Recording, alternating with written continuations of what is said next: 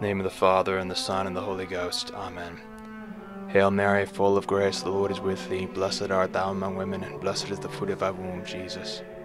Holy Mary, Mother of God, pray for us sinners now and at the hour of our death. Amen. Name of the Father, and the Son, and the Holy Ghost. Amen.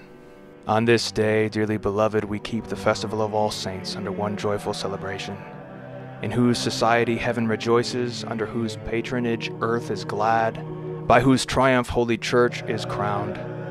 In their confession, the more grievous was their suffering, so much the brighter now shines their glory. For while the conflict increased, so also did the glory of the contest increase, and the triumph of martyrdom was derived from the multiplicity of suffering. And moreover, the weightier the torments, the weightier were the future rewards. And now, our Mother, the Catholic Church, spread throughout the world, has been taught in her head, Christ Jesus, to fear neither shame, nor cross, nor death. She had flourished more and more, not by resisting, but by enduring.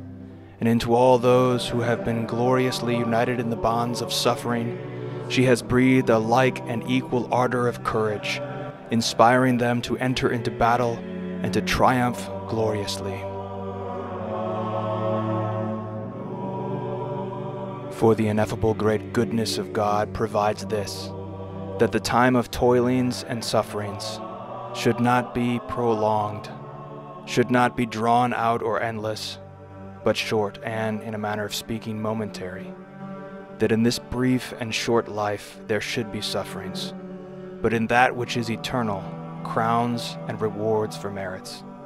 That toils should be quickly ended, but rewards for merits last forever that after the darkness of this world the saints should see the light of shining brightness and receive blessedness greater than all their bitter sufferings. The apostle bearing witness to this in this place, where he says, The sufferings of this present time are not worthy to be compared with the glory which shall be revealed in us. In the name of the Father, and the Son, and the Holy Ghost.